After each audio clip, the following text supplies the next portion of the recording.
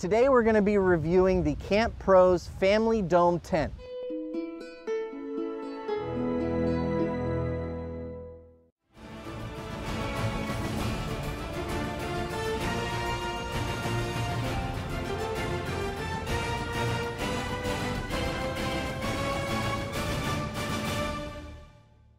Let's see what it looks like.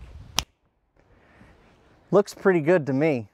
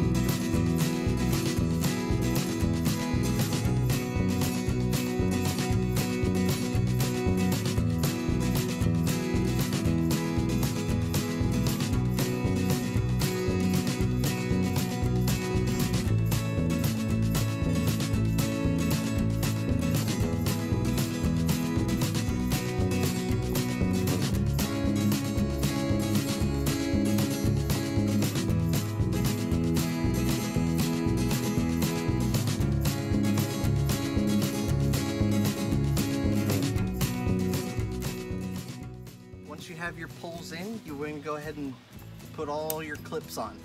And there's going to be uh, four on each side.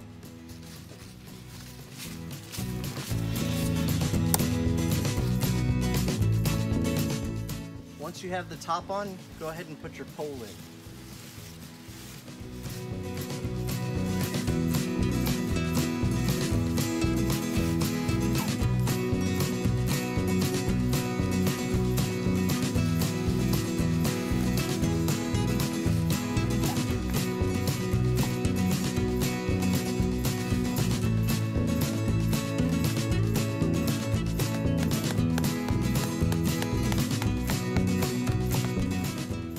On the doorway, you do have these little Velcro pieces.